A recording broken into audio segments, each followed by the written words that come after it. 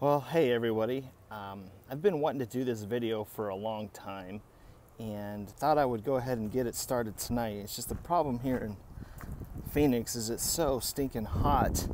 We're in the middle of July and I think it's like a 105 degrees, 110 degrees out today. But the last couple weeks I've been working on this solar shed here and it's going to be a several part video but I just wanted to get it started so you guys could see this.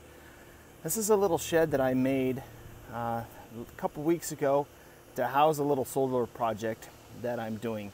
Uh, not for anything other than just for some fun. Uh, get me out of the house, get me away from a computer screen, still mess around with some technology.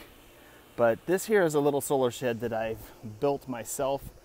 The roof is at 30 degrees, which is what we want to be at here in Arizona, facing south.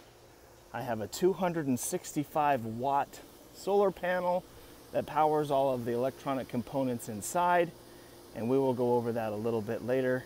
Um, I have it monitored with a solar powered video camera and then a security camera that's also powered by the solar unit to kind of keep a track on my backyard. And yeah, this is the this is the solar shed, I guess, or solar box if you want to call it. And um, took me about two weeks to build it. It's uh, in really good, really good condition. Very, very sturdy and a, a lot of fun. It was just a project that I wanted to start on my own and just see if I could do it. I'm not very much of a construction worker or very good with power tools, but I thought, hey, if I put my mind to it, I could I could certainly do it. So, and uh, there's Diesel. He helped me out as well.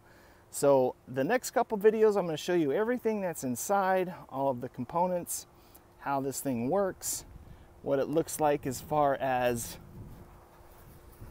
the videos are concerned with monitoring my backyard, how I remotely control it, what my solar charge controller is, how I configured a Raspberry Pi to remotely monitor it.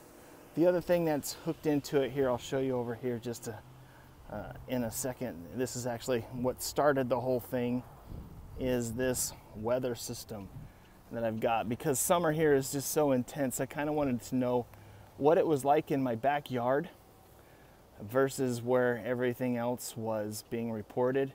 So this is all wireless. So from my solar shed right over here, you can kind of see it there behind the fence, to this, I can monitor my shed wirelessly remotely look at the cameras, see remotely what my weather is, uh, all being powered completely off the grid. And so, pretty exciting little project that I had. So, just wanted to share it all with you. So, over the next couple uh, days, I'll be doing other videos as far as what the solar shed completely entails and what that project was. Thanks, look forward to doing that with you, and we will talk soon.